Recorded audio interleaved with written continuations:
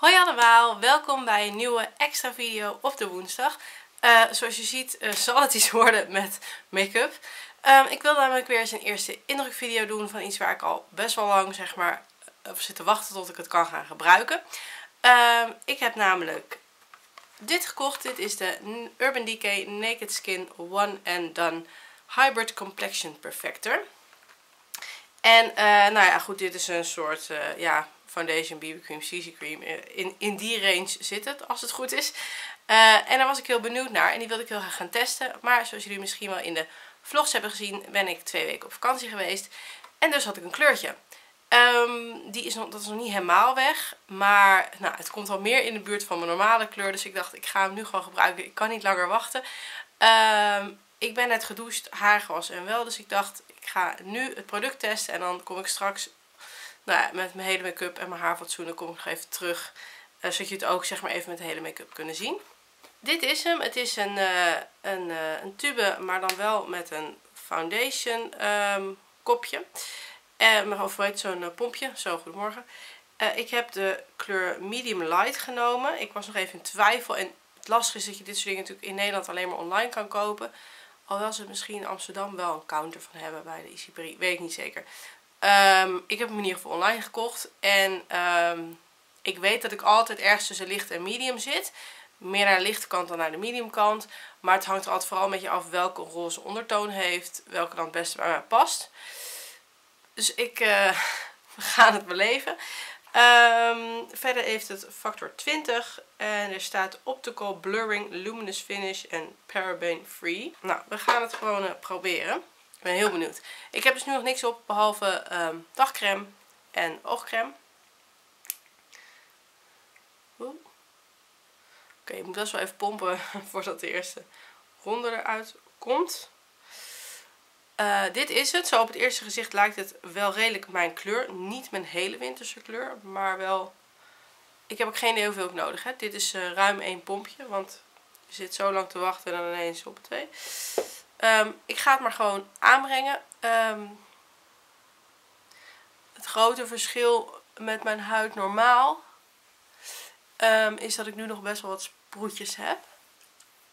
Ik heb sowieso sproetjes, maar natuurlijk meer als ik in de zon ben geweest. hij voelt heel prettig aan. Qua textuur, het is een beetje crème-achtig. Het is misschien goed om te weten dat ik echt een droge huid heb van mezelf. Zeker in de winter. Ik doe toch nog een extra pompje. Ik heb trouwens geen spiegel, dus die ga ik zo nog even pakken. Ehm, ik breng het trouwens graag altijd aan met mijn vingers. Ehm, maar ik heb dus een droge huid. Dus ik hou er wel van als producten een beetje vol aanvoelen. En dat voelt deze, maar deze voelt absoluut niet vettig. Ik gebruik het schermpje nu als spiegel. Maar ik ga zo even een spiegel pakken. Zo op het schermpje lijkt de kleur uh, heel goed. maar daar hebben we natuurlijk wel even een spiegel bij nodig. Ik druk het altijd een beetje in mijn huid. Een soort van, ik weet niet, volgens mij doet niemand dat. Maar ik vind dat heel fijn. Omdat het voor mijn gevoel dan echt samensmelt. Ik heb er even een spiegeltje bij gepakt. Uh, het ziet er echt super natuurlijk uit.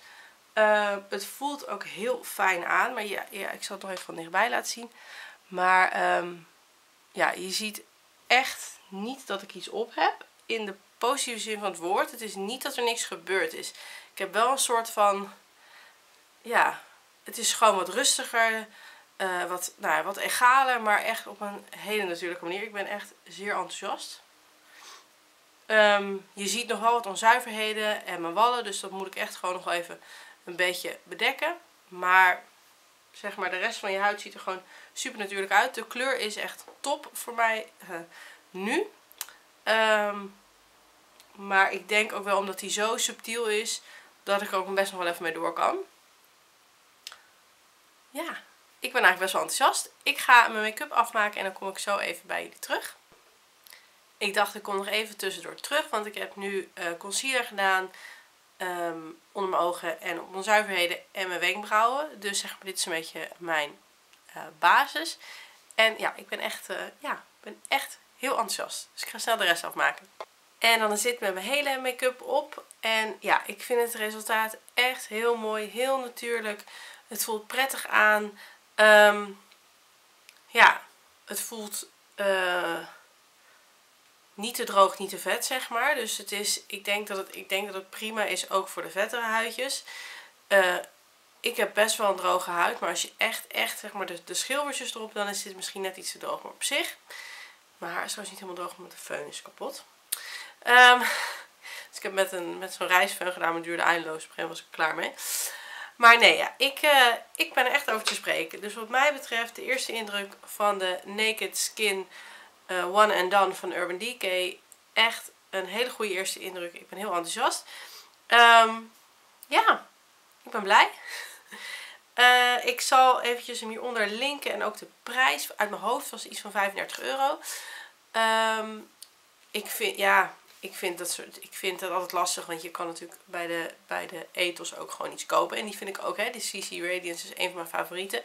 Dus uh, ja, weet je, heb je het echt nodig in je leven? Dat weet ik niet. Maar als je houdt van een mooi uh, naturel huidje, maar met wel net even een beetje, dan is dit een hele fijne Um, en uh, ja, ik ben, uh, ik ben er blij mee. Ik hoop dat jullie deze eerste indruk leuk vonden. Ik wil jullie in ieder geval ontzettend bedanken voor het kijken. Vergeet vooral niet een duimpje omhoog te doen en je te abonneren op mijn YouTube kanaal als je het leuk vindt.